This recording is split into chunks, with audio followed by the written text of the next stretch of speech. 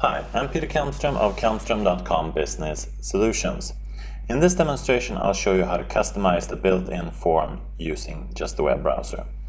As you see the built-in form is customizable with InfoPath, I've showed you that in previous demos, but you can do a bit of customization also in just the web browser. If you go in here under the form web parts you'll see that there are three links here, default new form, default display form and default edit form.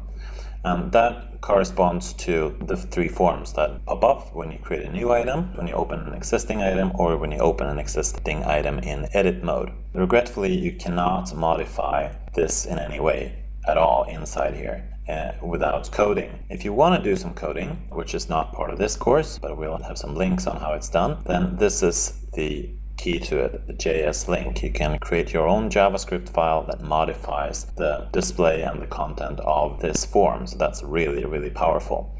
But what we're going to do now is the no code solution. I'm going to add a web part up here. So this is a web part page. So you can add any web part up here.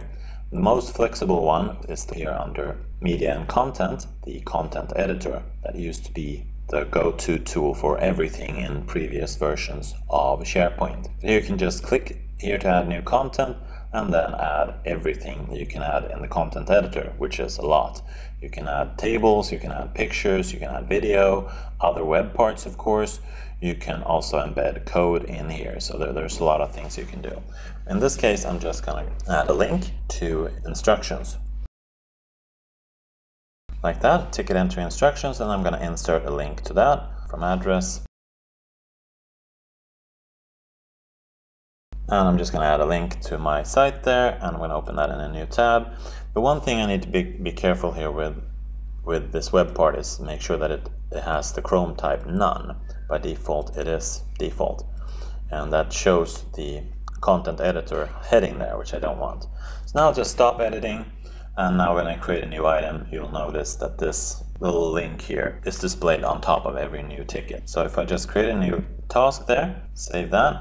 Now if I open it, of course, then I'll be opening it in the display form. And this link is not displayed just when I create new forms, which of course opens the new form ASPX page, which I just edited. So I hope that gives you some ideas on how to modify the SharePoint form using just the web browser. Thank you for watching.